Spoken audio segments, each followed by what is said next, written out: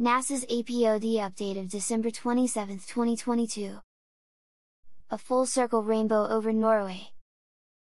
Have you ever seen an entire rainbow?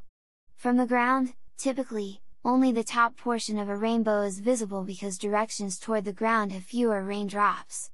From the air, though, the entire 360 degree circle of a rainbow is more commonly visible. Pictured here, a full circle rainbow was captured over the Lofoten Islands of Norway in September by a drone passing through a rain shower. An observer-dependent phenomenon primarily caused by the internal reflection of sunlight by raindrops, the rainbow has a full diameter of 84 degrees.